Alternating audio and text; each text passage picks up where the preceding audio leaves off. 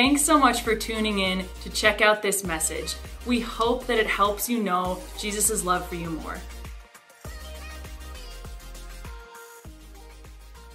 If you have your Bibles today, uh, you can grab those, and we're going to look at two scriptures. We're going to start off in Hebrews chapter 6, which is where uh, we taught last week, and it's going to kind of be the foundational scripture for this series that we're in. Uh, this is our, our kind of our, our launch series called Anchored. We're going to talk about being anchored, what it looks like to be anchored. Uh, we're going to look all throughout Scripture, different examples of being anchored. We're going to talk about the storms uh, and Jesus being present in those storms. So we're going to look at Hebrews chapter 6, and then we're going to spend most of our time today uh, in the book of Mark chapter 4. So you can go to Mark chapter 4 as well.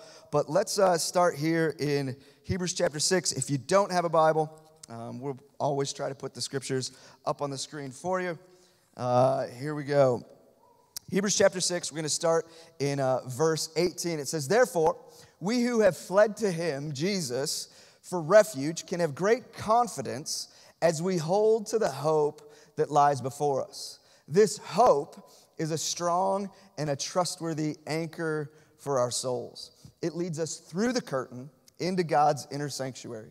Jesus has already gone in there for us he has become our eternal high priest in the order of Melchizedek. What I love about this scripture and what we talked about extensively last week, and if you were not here, you can go listen to it online, go to our YouTube and check it out. But this is telling us that uh, we have this strong, stable anchor for our souls, that our souls are shaky, they are unstable, but we have the option, the, the, the solution for stability in our lives, and it's this anchor, it's this hope who is Jesus.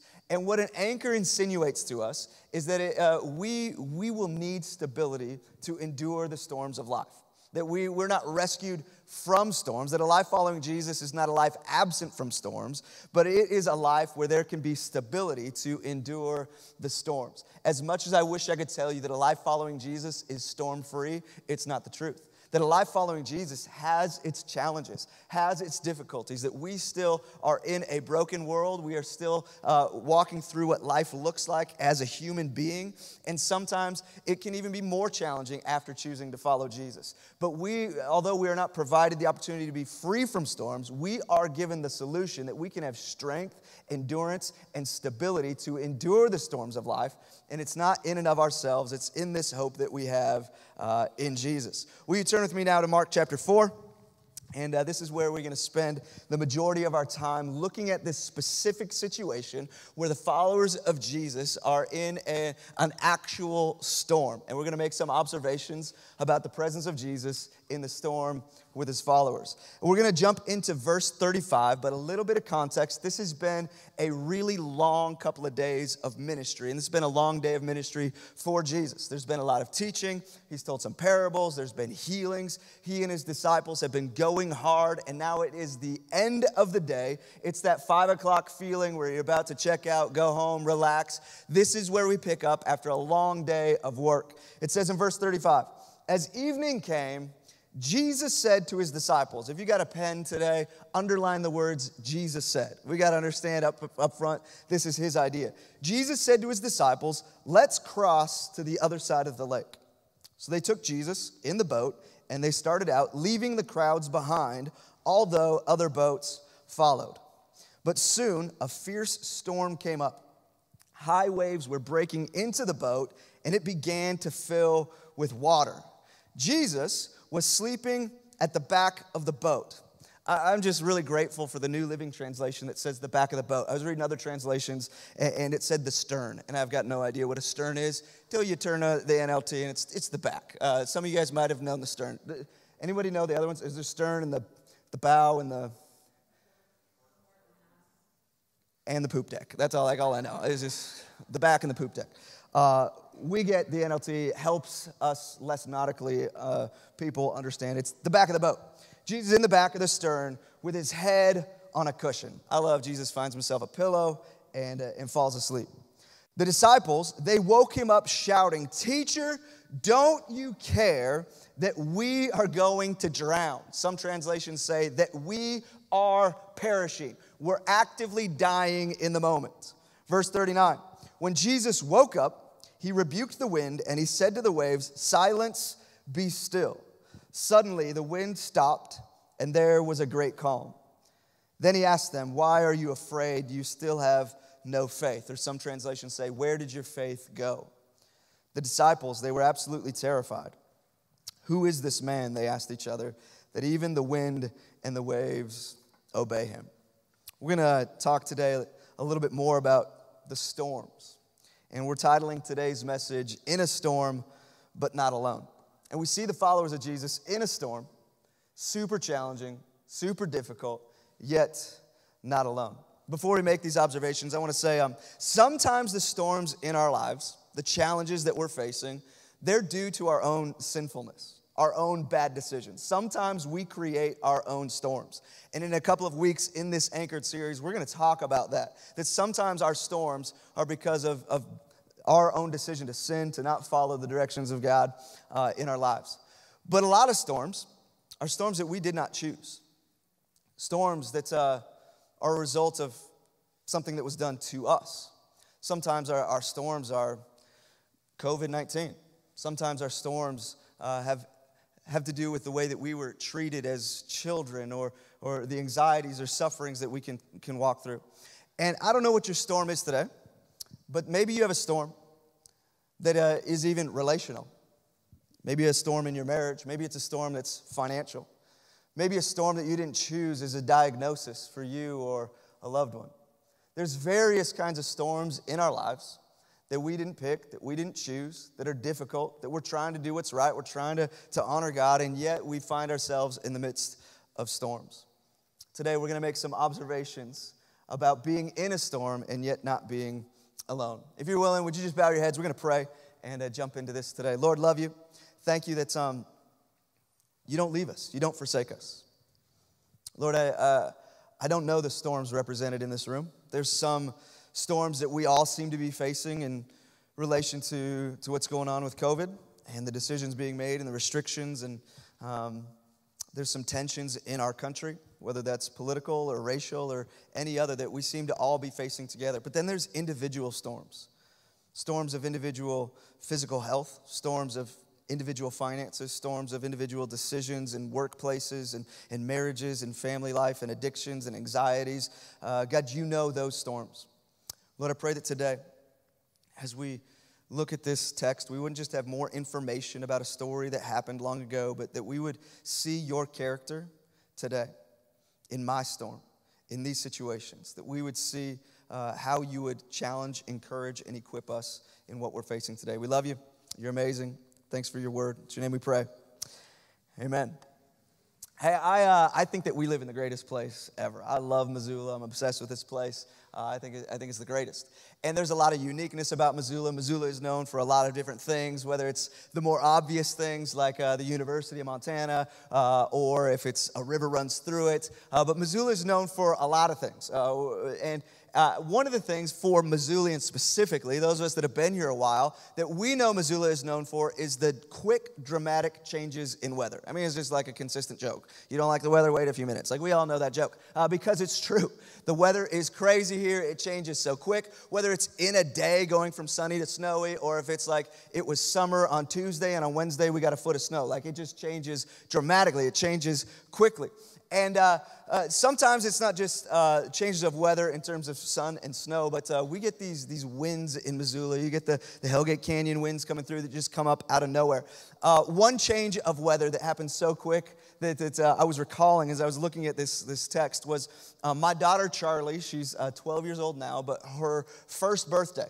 Uh, we, we had our, our, very first birthday party, our first birthday party to throw for one of our own children. So we went all out. And uh, at the time, we lived up in the apartments at the top of the South Hills on Uncle Robert Lane, which it seems like most of us make our way through those apartments if you grew up in Missoula. Anybody else had or have the privilege of living at the apartments on Uncle Robert Lane?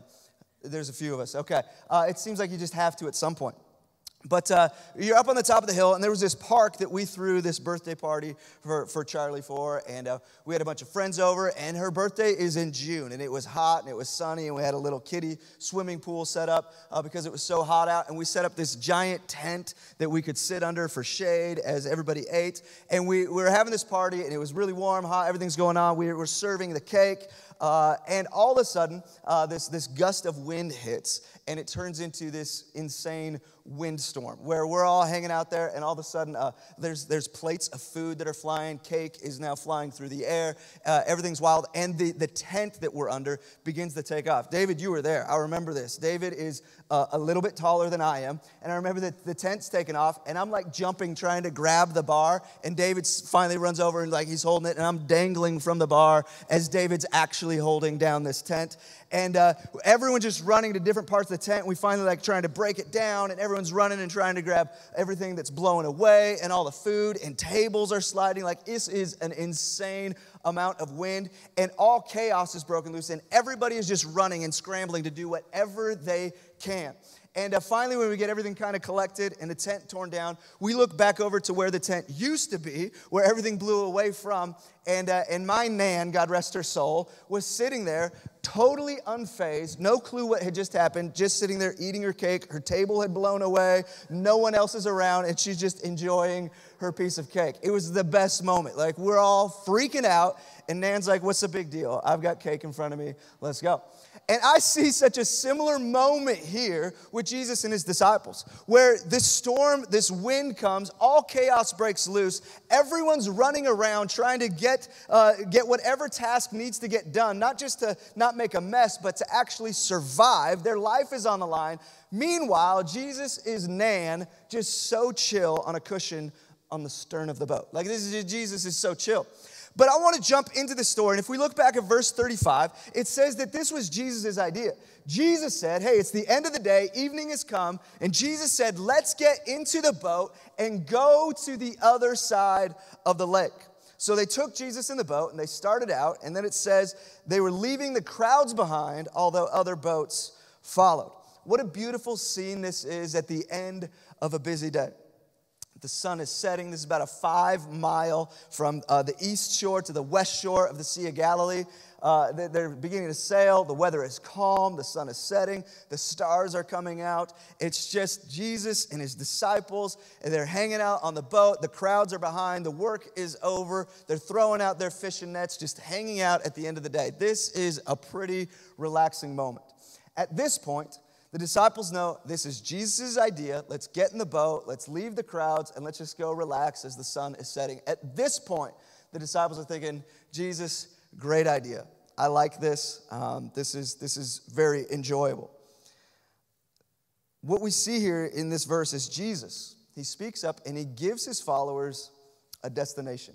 He gives them vision. He gives them direction. He gives them purpose. He gives them calling. He says, I want to get in the boat and we're going to go to the other side.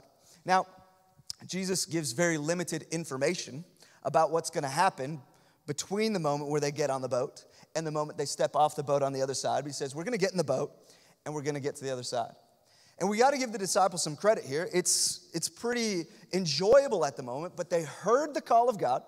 They heard where Jesus wanted to take them. He had spoken vision, and they heard it and they obeyed it. They get in the boat and they begin to do what Jesus directed them to do. Now, I believe that Jesus, He speaks to us. Many of you have heard him say, Hey, this is the direction I want you to go, whether that is in relationship or in jobs or in decisions or in finances, uh, where you live. That, that he says, This is where I want you to go. But sometimes he tells us a direction. He speaks vision and destination, and yet there's limited details of what's going to happen between where we are and where he's taking us. And in verse 37, I mean, so far, so good. Jesus, I like where you're taking me. But things change in verse 37. It says, Soon a fierce storm came up. High waves were breaking into the boat, and it began to fill with water. Historically, this fishing boat that's big enough to hold Jesus and his 12 disciples, that this is, this is a boat that has to hold between uh, at least 12 or 13 grown men. Uh, and higher. So, likely, knowing these fishing boats, the, the size of them, it would have to be at least seven foot waves to get inside the boat. So this is no small waves, no small storm, that this is a chaotic storm that hits out of nowhere. So let's put ourselves in this scene. It's beautiful, it's relaxing.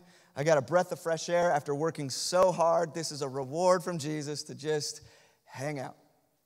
But what was peaceful, there's a little bit of a breeze that comes and, you know, kicks up the disciples' hair and their little man skirts are flapping in the wind a little bit and, and things are getting a little bit more, a little bit more rowdy. And, and they decide, hey, maybe we should bring in the nets. The wind, you know, we're rocking a little bit. And then it gets even more crazy and, and you know, the stuff in the boat is sliding side to side and, and it's much louder with the wind. And they're like now it's trying to strap stuff down and they're holding on to the edges and they're yelling and giving, giving each other directions on how are we going to maintain this and make sure that nothing falls out. And, and as they're trying to fix something over here, a wave hits and it throws them off to the other side. And it is chaos at this point, to the point where the boat is filling up with water, at least seven foot waves. And now, out in the middle of the lake, now it is dark, the middle of the night. What was beautiful and serene and easy is now difficult and fearful and challenging.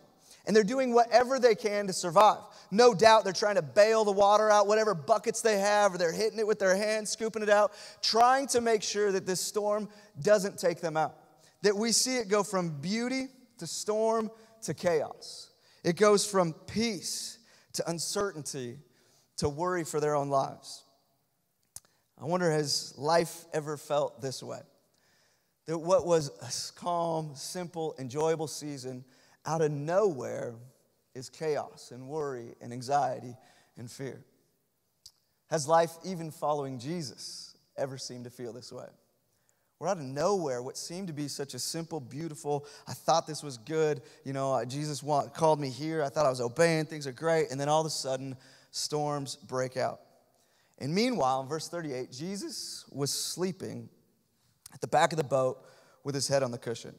First observation how tired is Jesus? Like he's just sleeping through this storm. You know, this isn't just little waves. I mean, I see Jesus just like sliding back and forth, hitting his head on the boat as he's, and the water's coming up, the cushion on his face. Disciples are yelling, it's frantic. And he's just, you ever have a sleep like that? Those are the best, where you just sleep through anything. Jesus, he's sleeping through it all. But the location of Jesus is where I want to look right now. Where is Jesus in the midst of this chaos? He is right there on the boat with his disciples. That it is a mistake that we so easily make to assume that the presence of a storm means that God is distant. In fact, if you're taking notes, write this down. The presence of a storm does not mean that Jesus is absent. I think a lot of times this is the first wrong assumption that we also make. Well, if this is going on in my life, and I'm trying to do the right thing, and this chaos is happening all around me, God must be distant. I want to tell you, the disciples, and in your life as a follower of Jesus, the presence of a storm does not mean the absence of Jesus. That you may be in a storm, but you are not alone. Jesus isn't distant, Jesus just isn't freaked out. He's not worried, he's not concerned. And why? It's the same storm. He's in the same boat, the same waves, and the same water that's rising up. He's not in a different storm. He's not in a different set of circumstances. It's the same exact circumstances, the same exact danger. Why isn't Jesus freaked out? Because Jesus has already declared we're going to get to the other side. He's already said it, He knows it. Now, Jesus, if He calls you to a destination, He will also carry you through whatever is between here and that destination. If He is going to call you to, He will carry you through. Write that down if you're a note taker. If He has called you to, He will carry you through. And Jesus has already said, We are going to the other side. Whether there is a storm or no storm, we're gonna get there. So, why am I worried? Why am I freaked out? Why am I gonna be frantic in this moment when I already know that we are gonna make it to the destination? You see, Jesus, he, he, he knew. And I want to tell you that just because Jesus isn't actively changing the circumstances of your life the way that you wish he would, doesn't mean he's absent. Doesn't mean he's not understanding of where you're at right now. The first assumption we can so often make is that the presence of storm means the absence of Jesus. It says, uh, if finishing off in verse 30, it says, So the disciples, they ran to Jesus shouting.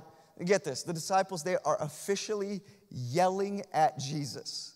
And they yell at him, Teacher, don't you care that we're going to drown? Teacher, not Lord, teacher, don't you care that we are actively perishing, that we are drowning. says, Jesus, don't you recognize we have tried to do everything we can to save ourselves and it isn't working? We're experienced sailors. We've been in storms before and, and we know what we, we ought to do to try to save ourselves. We, we've worked hard, we're trying to bail the water out of the boat, but despite our best efforts, we have concluded that we are going to die. And you don't care. This is what they yell at Jesus. Don't you care? Jesus, this was your idea. You brought us here. You spoke this vision. You told us to get in the boat. You called us to this situation, and you are sleeping. You are inactive. And I, wonder how often in our lives this is a frustration that we feel. Like, Jesus, I was trying to honor you.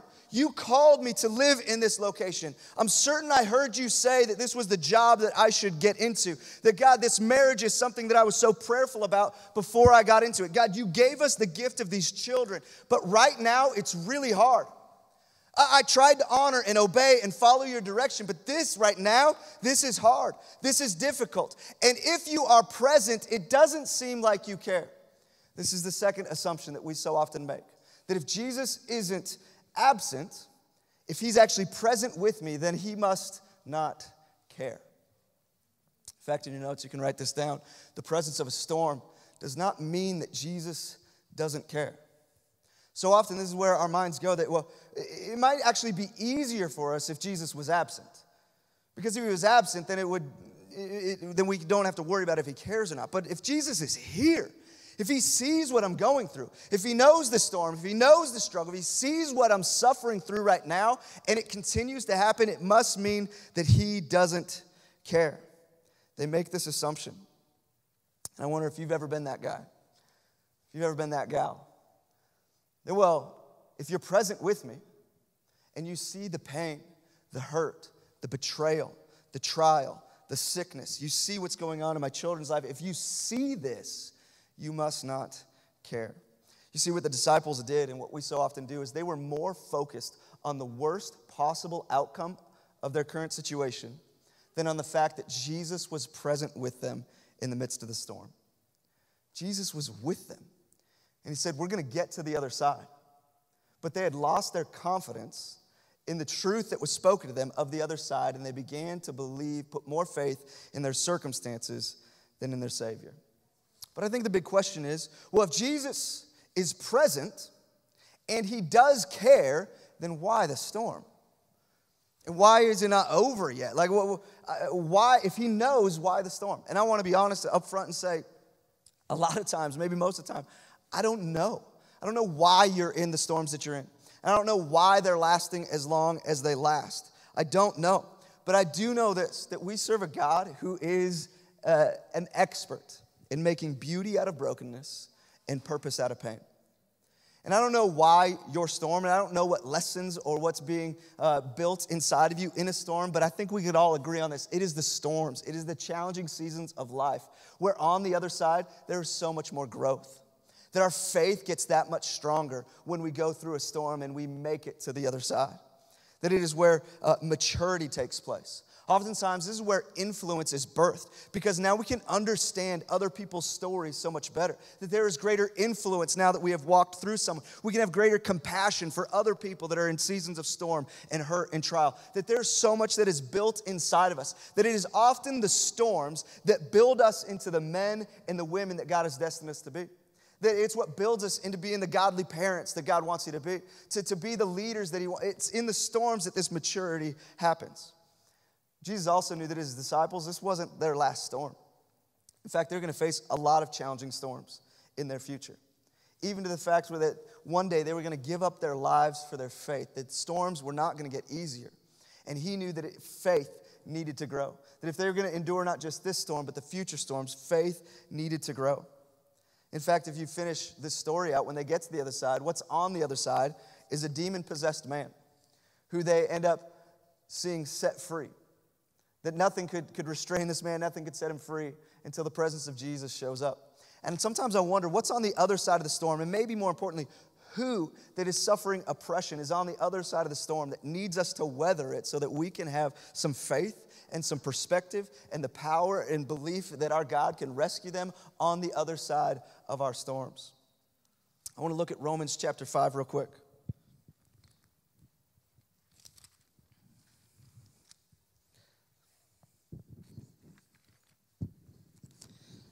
Romans chapter 5, and we're going to go to, to verse 1. It says this Therefore, since we have been made right in God's sight by faith, we have peace with God because of what Jesus Christ, our Lord, has done for us. Because of our faith, Christ has brought us into this place of undeserved privilege where we now stand, and we confidently and joyfully look forward to sharing God's glory. We can rejoice too when we run into problems and trials, for we know that they help us develop endurance. And endurance develops strength of character, and character strengthens our confident hope of salvation. And this hope will not lead to disappointment, for we know how dearly God loves us because He has given us the Holy Spirit to fill our hearts with His love. I just love that it is in these storms, it's in these challenges that develop and develop and develop. And what we are, what we end up with is hope. That we don't end up with, like, well, with this despair that life is just a bunch of storms and uh, tomorrow's gonna be worse than yesterday. No, when we are walking through the storms with Jesus, there is a hope that is developed. That He has carried me in the past and He has built me and He has strengthened me and there is endurance and there is strength and it develops hope inside of us. So I wonder if the question should transition from why is this storm happening to what is this storm producing? God, I, I don't know why the storm is happening, and I don't know why it's not going away, but what is this storm producing in me for who you're calling me to be in the future? What endurance are you building inside of me? What compassion are you building inside of me? What, what faith are you building up inside of me? I want to tell you, your storm is your story. And your story has power, and your story has influence, and your story can connect with individuals that are going to cross your path in the future. And it is the storm that builds your story. And you may not know why or how long it's going to last or what condition you're going to be on the other side, but what a story you're going to have to tell. I just think about it this way if Jesus sees the potential in the current you, and how that potential could, could blossom into the mature and influential future you, is it not His grace sometimes to allow the storm to develop us into the potential that's inside of us? That maybe God isn't distant, and maybe He actually does care. And what if it's that Jesus cares enough about you, and He cares enough about the oppressed people on the other side to say, I'm not gonna abandon you in the storm? I'm to be right here with you, and I'm to carry you through as I have called you to, and I'm to build you and mature you. And sometimes it is His grace that says, I'm to hold you through the storm and develop you and build you and be your anchor to get you to the other side. So, what if instead of complaining, we say, God, I don't know why the storm, I really don't like it. I wish it would go away. But if you're to carry me to the other side, if you're to build me into who you want me to be. And if there's someone on the other side that needs my faith to grow right now, and you're not going to abandon me, you're going to be with me, you're going to be my anchor, then let's go. I'm not going to lose trust. Verse 39 says, When Jesus woke up, he rebuked the wind and he said to the waves, Silence, be still. And suddenly the wind stopped and there was a great calm.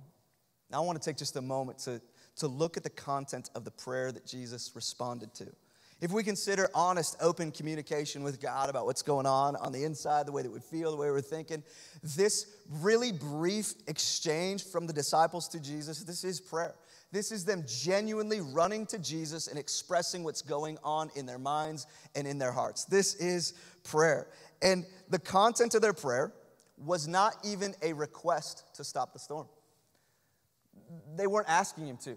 They said, Jesus. They said, Teacher, don't you care that we are going to drown? This is not formal. This is not delicate. This is not a, a, systematic. This is not a certain set of words to say in a certain way. In fact, this is accusatory of Jesus. They are yelling, they are shouting at Jesus Jesus, you don't seem to care right now that I'm dying. And this is a prayer that lacks faith, it's inaccurate in its assumptions. It's rude, if not offensive. And Jesus, I'm so grateful that he doesn't turn and look at them and say, You change your tone, young man, if you want to talk to me. He doesn't say, Hey, there should be a dear Heavenly Father at the beginning of that if you want me to listen to you. Like, uh, let's be a little more orderly in the way that you pray. Uh, why don't I correct your false assumptions about me and then we'll decide what to do about this? No, this prayer was yelling at Jesus, false accusations that you don't care about my storm. And Jesus, rather than reprimanding and setting them straight, he responds. He's not turned away by their lack of faith.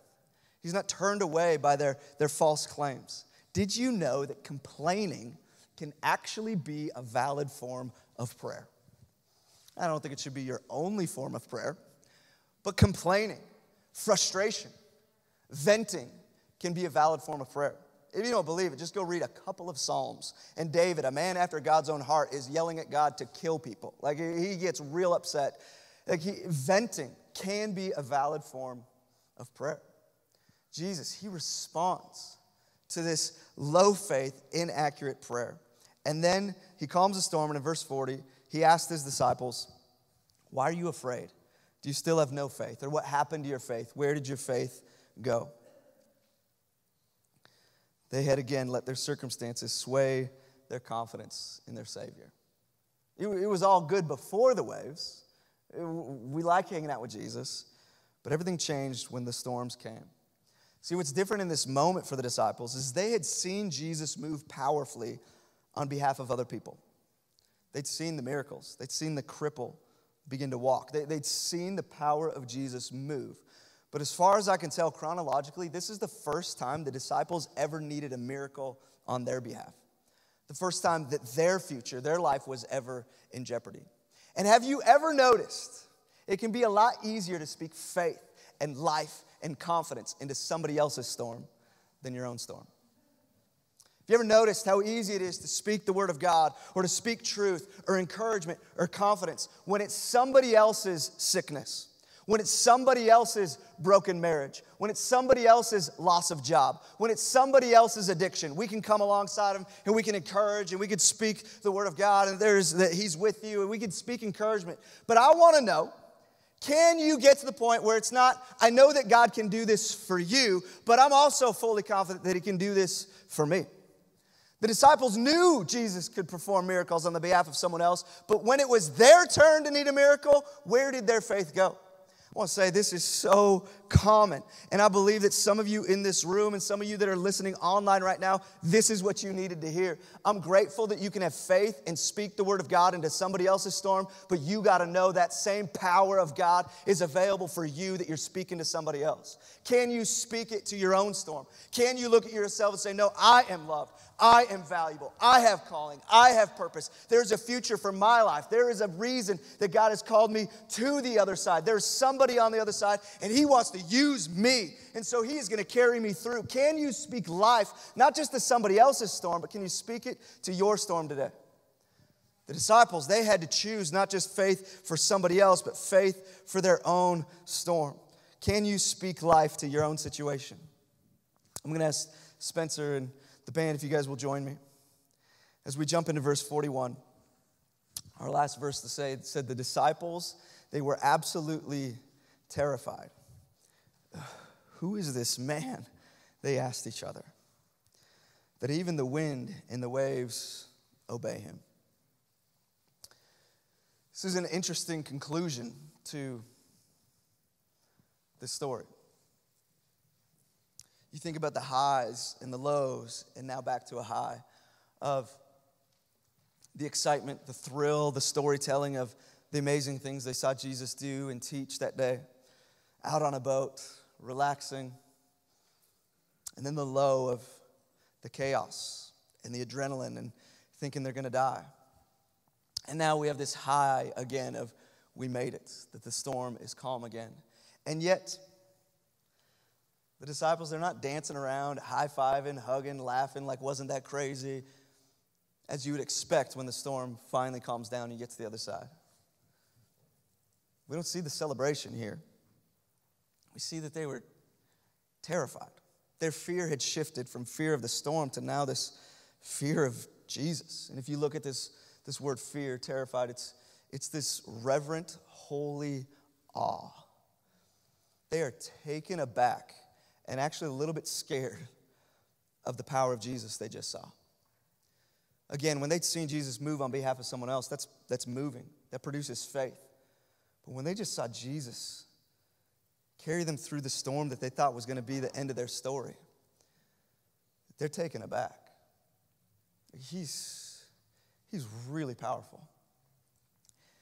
And he really cares, not just about them, he cares about us. He cares about me. He, he captivates them again. I mean, picture the scene. It's these 12 men who are in the middle of the night working so hard to bail the water out. Their adrenaline is pumping. They got water dripping off their beards. They're breathing heavy. And as the storm calms, no doubt they've got their hands on their knees trying to catch their breath as the water's just running down their faces. And it doesn't say explicitly that Jesus grabbed the cushion, curled back up, and went back to sleep but that's what I see because that's probably what I'd do. But Jesus, he calms the storm, conversation over, and the disciples catching their breath. They're just looking at each other, not celebrating, just trying to process what just happened. I mean, just minutes ago, they thought their life was over. They thought it so confidently that they're yelling at Jesus, You don't care about how terrible this is right now. And it's the end of me. And now it's calm. And they're catching their breath. And no doubt just looking at each other with this look on their face of like, what just happened? And as they're looking around, taking this in, processing, one of them speaks up first. It's like, you guys.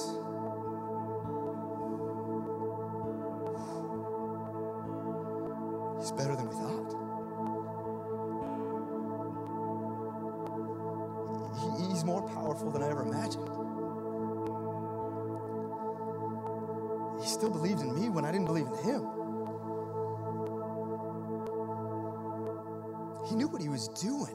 freaking out. He called us too, and he's going to carry us through. Start piecing these things together, and they're just like, guys, he's. We knew he was good, but we didn't know he was this good. And they're taken aback once again at the love and the mercy and the power of Jesus. And although I can't tell you why the storms that you're facing, I can say that sometimes it takes the storm to reintroduce us to grace again, to captivate us once again with the power of Jesus. Sometimes it takes the storm to get to the other side and have that wow moment of, can you believe He carried us through that? When I was frustrated and I thought He was distant or I thought He didn't care, He knew what He was doing and He never gave up on us and He carried us through. I'll tell you last week, I'll make this a brief story. Before launch, I had this, this moment right up here where I absolutely lost it. It was like ugly crying, and I try not to like ever do that, but it happened. I was just sobbing, and my kids were like, "What's wrong?" All day, Finley was telling us, "Dad was sad today." It's just like I lost it because it was this moment that I didn't expect. Where long story, incredibly short, the last couple years have been really hard, and 2020 is probably not the ideal year to try to plant the church. It's been difficult. And there was this moment through all of the challenges and all the storm when we were here last week about to launch. And it was this overwhelming moment of, oh God, you knew what you were doing. All those moments of questioning and wondering and fear and insecurity and and not that those are absent now and gone now, but it was this moment of like, Jesus, you knew what you were doing. When you called us to, you're going to carry us through. And I hope that today, in your storm, my hope and my prayer, although I don't know when it's going to end, I hope that you get this wow moment of God, that was really hard. And I never would have chosen this season to look like that. I wouldn't have picked for this to happen. But God, thank you that you loved me enough and you believed in the future influence that I could have, that you carried me through a really hard season. And I hope that on the other side, there's moments of influence, but I hope there's moments of you just sitting there saying, wow, you're better. You actually weren't bad because you let me go through that storm. You were so good. You're so good. I really believe although we have individual storms, I'm believing with all my heart, the church specifically, we're gonna be better after COVID. Because this has been awful. It's been so hard. This is ridiculous. And I don't know when it's gonna be over, but what God is learning and developing inside of us corporately and individually, and what it means to be a part of a community and engage with the body and support and lead and love, what He's building inside of us, we are gonna be such a strong church on the other side. And I can't wait for this to be over. But Jesus, you called us to plant this church. You called us to, you're gonna carry us through, and the other side, we're gonna be so much better for it. I believe you're gonna be better on the other side of COVID. You're gonna be so much stronger so much more understanding and compassionate, that it's doing something inside of us. And your individual storm, the difficulty in your family right now, the difficulty in your finances, the difficulty in your job and your decisions, you're gonna be greater. You're gonna be stronger. Jesus called you to, He's gonna carry you through, and He is building you to something great on the other side. And there's gonna be moments where you say, Wow, you're better. You're better. I'm gonna tell you, church, I may not know your wind, I may not know your waves, but I know who has the power over them. And I know that He is near, and I know that He cares, and I know that He is the anchor. He is strong, and He is trustworthy, and He gives you stability for your soul. If you're willing and able in this room, would you stand with me? I want to be clear that I don't know if, how, or when your storm calms. This is not a message of saying, well, if we just pray together today, your storm will be over. I can't make that promise to you. I don't know if your storm will find resolution the way you're hoping. I don't know when and how it will end. And I can't promise the desires that you're seeking or what you're going to get. I will tell you, I'm willing to pray for it though. Let's pray. Let's run to Jesus. Say, This is what we need. This is what we're looking for. This is where my heart's at. I'm not afraid to ask big requests, big prayers. As much as I can't promise that, what I do see here is the only one who has the power to calm that storm is Jesus. And I trust him to know what he's doing in your life. He's the only one that can calm it. I can't calm it. This church can't calm it. Jesus can calm the storm. I don't know if and when He will, but it's who we run to. I do want to consider, though, what did the disciples do? They didn't get to calm their own storm. But what made a huge difference for them was when they took their eyes off of their storm, where they dropped their buckets of their own efforts to save themselves, and they ran to Jesus with a very small amount of faith or no faith,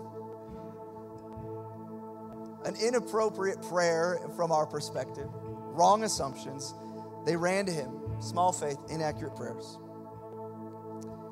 In Jesus, he exchanged his rest so they could have it. He exchanged his position so they could have it.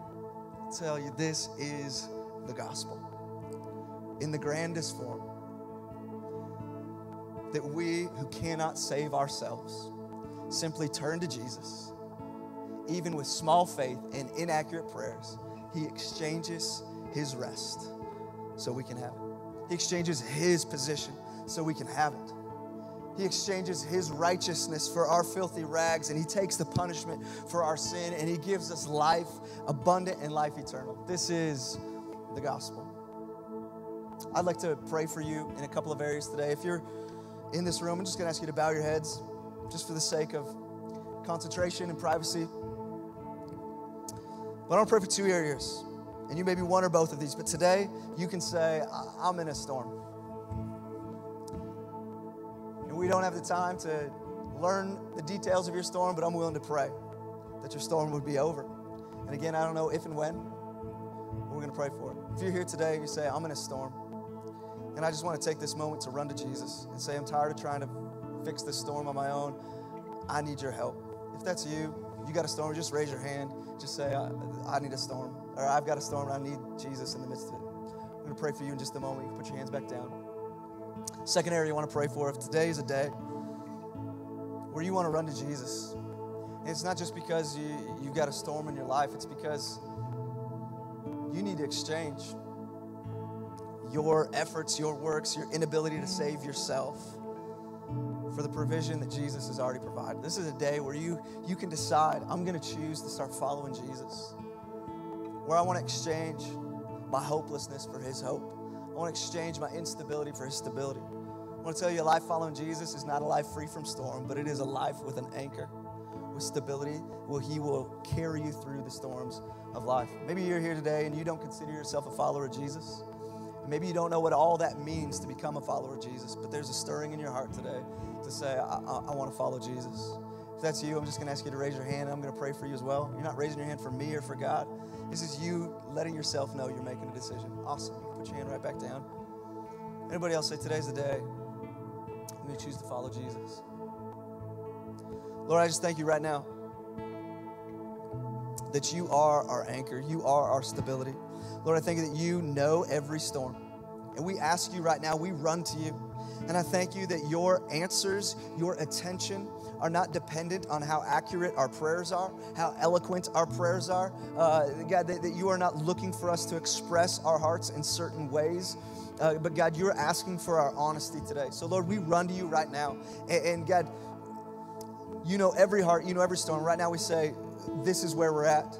God, it seems like you're distant, or it seems like you don't care, or this is the healing that I'm seeking, or this is the answer that I'm looking for, this is the marriage I'm asking you to restore, this is the addiction I'm asking you to break, this is the finances I'm asking you to, to, to provide. Whatever the storm is, God, this is we, we bring it to you and say, Jesus, we can't fix this on our own, but we know that you can. And God, we put our trust in you. That on the other side of the storm, there's going to be a greater faith a greater influence. And we say yes. That we want this to end soon, but we know that you're going to carry us through to the other side. Lord, I thank you that you see not just the hands, but the hearts of those that say, Today is a day where I want to choose. I want to decide to start following Jesus. God, I thank you that you are here and you are right now internally in their hearts, in their souls. You are showing them your love and your grace. And I thank you that today is one of the greatest days that they will ever experience where there is hope and there is life abundant and there is life eternal that is being brought to your sons and your daughters. Father, we love you. You're such an amazing God. We choose right now to take our eyes off of the storms and put them back on our Savior. We love you, Jesus. In name we pray. Amen. Thanks again for checking out this content. We hope that it blessed you. We meet on Sunday mornings and would love to get to know you. Any information you need, you can find online at our website, goanchorchurch.com. Thanks so much. Have an awesome day.